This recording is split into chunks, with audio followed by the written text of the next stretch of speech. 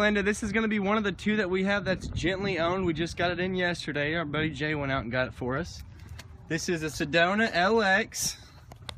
All right, this is going to be the champagne color right here. These two that I'm going to send you a video on have very low miles on them, and the way we the way I wanted to show the reason I wanted to show you these two is because we can get you probably a little bit better price than we can on a new one.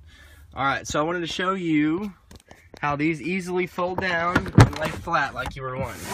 So they go in there just like that. This other one does the same. It just has the mats underneath it.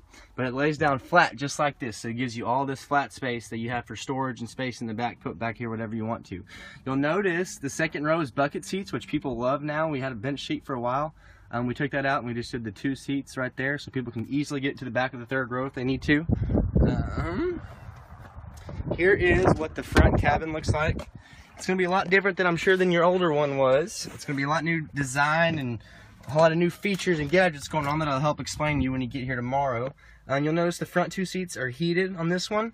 Um, you're going to get a backup camera with the LX and you'll also get dual climate air control. And so you'll be able to have different temperatures on each side of the cabin up front for you. Okay. So you can see we did a whole new redesign with the 16s. And this is going to be one of our options we can look at tomorrow for you. Um, I'll send you a video of the second one here in just a minute.